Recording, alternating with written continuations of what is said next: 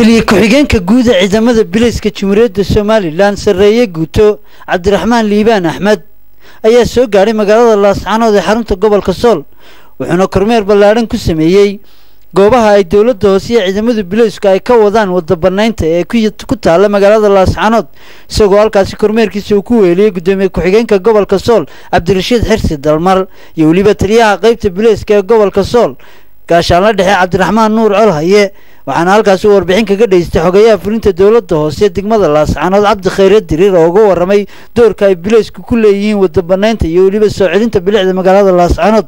Intaa kadibna wuxuu kulan kula qaatay taliska qaybta bilayska ee gobolka sool. Saraakiisha bilayska kiisana uu yimi magaalada laascaanood tareeye guute cabdiraxmaan liibaan axmed fooxle. Tali-xigeenka guud ee ciidanka bilayska jumhuuriyadda somalilan ayaa sheegay ujeeddada kormeerkiisa. Waxaan ku salaamay salaamta islaamka waxaan doonaya halkan inaan ka idhaa oo ah. Sababtaan u nimi halkan inaan halkan ka sheego waxaan halkan ku nimi kormeer kadisa oo ah ama qaybta eegini diyaargarowgeeda iyo inta ay ku hawlgeli karto run ahaantii waxaa nooga soo baxay ciidan diyaarsan oo hawlgeli kara daqiiqadii loo baahdo. Gaadiid ahaan hadday tahay hadday ciidan ahaan tahay hadday mas'uuliin iyo hogaamin tahay ciidan heegan ah u dalban shaqada qaranka ayaa nooga soo baxday. Waxaan aada u ammaanayaa oo aan mar iyo lababa ammaan badan siinaya taliyaha qaybta. Oo ka soo baxay hawshiisii iyo xilkii mas'uuliyadeeda qaranka u hayay iyo gudashada waajibaada halkan uu joogo.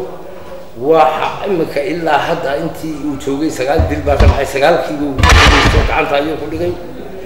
Magaalada hambaliyo iyo bogaadin gaarsiinaya dhammaan ciidanka bilayska hogaamada hogaan ku-xigeenada taliyaasha qaybaha iyo dhammaan saldhigyada iyo dhammaan ciidanka bilaysku meel kastay joogaan iyo xaasaskooda ilaahay haydinku gaarsiiyo nabadgeliyo iyo guul haydinku gaarsiiyo dhammaantiinba insha allahu muddo kalena dhawaanna waxaan filaya inaan ku soo noqdo haddii ilaahay ka dhigo.